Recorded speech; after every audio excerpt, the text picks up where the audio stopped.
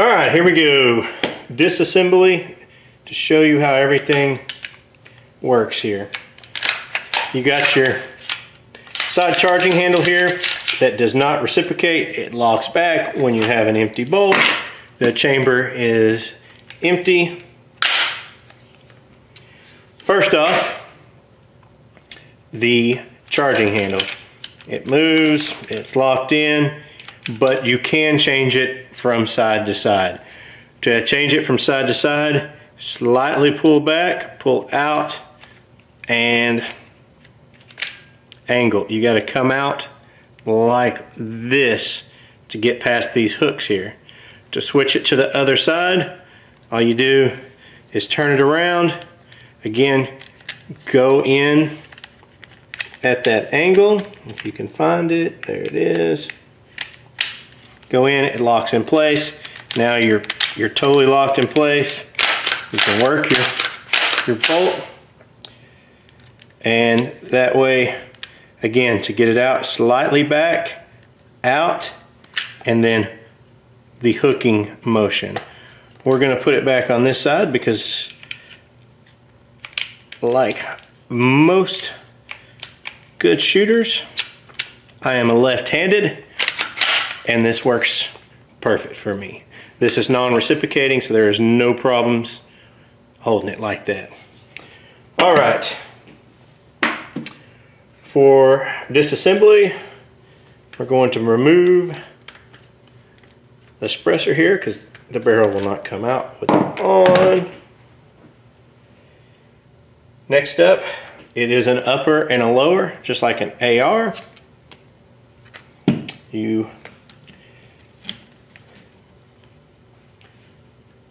remove the two pins.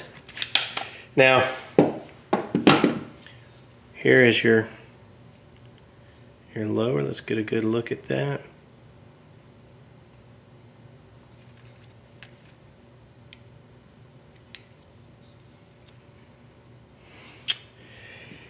Now this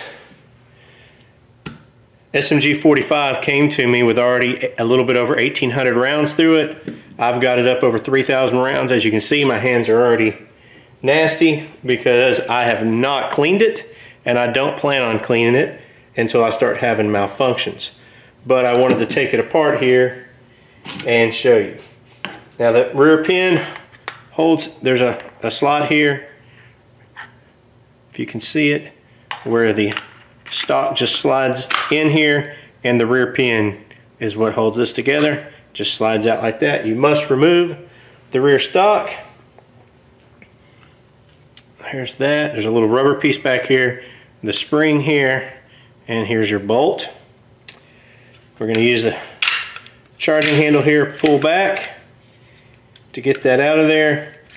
And then we're going to remove this so this whole assembly will come out. Here is your bolt, firing pin, everything. It's filthy. Like I said, not going to clean it until I start having problems. This piece is a rubber type grommet here.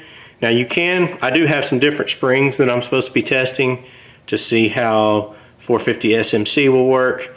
Um, with this particular spring that, that is the, the stock spring for it, I have fired everything Federal H HS HST, Winchester Ranger, Winchester White Box, Sellier and Bellot, just FMJ, uh, Lawman, Speer Gold Dots, um, some double tap ammunition, and I have not had a single failure yet.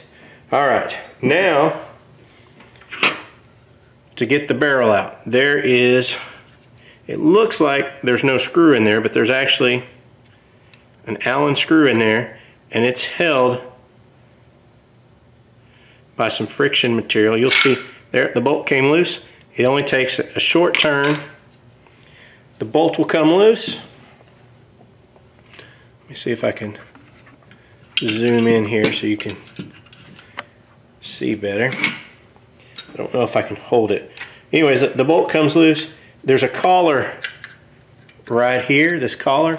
you want to turn, keep the collar centered, but turn the barrel.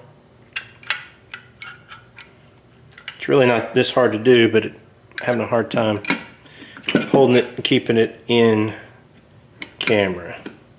And when you turn that, the barrel to the side like that, your collar comes off. Now, zoom back out.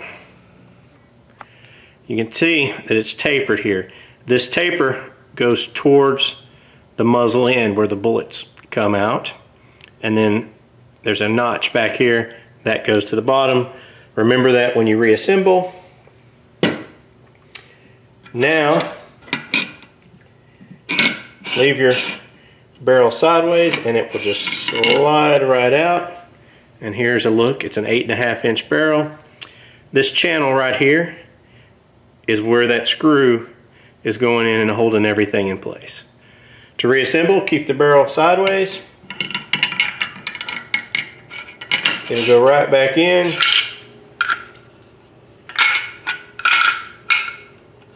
Gotta get it through the bushing down here. All right, we're back in. Take our collar. Make sure we have it aligned right.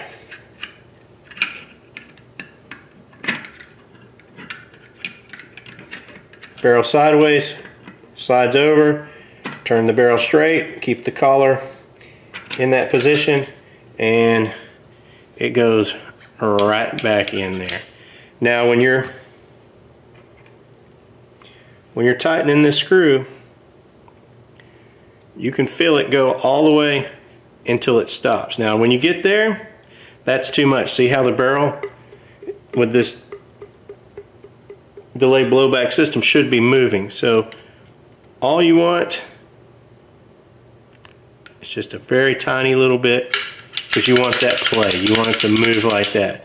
It doesn't need to be any more than that. You don't want it tight because it'll affect operation and you don't want it too loose because it'll affect accuracy. So just a, hair and then it's perfect.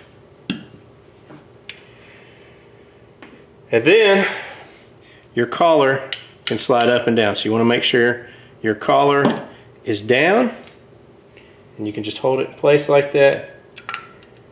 This whole assembly here will slide back in like so. Push this rubber grommet in, slide your stock or your pistol brace, which this is a pistol brace back in.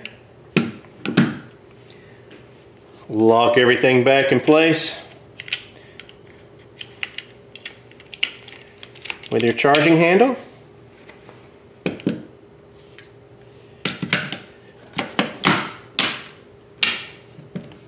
Do a function check.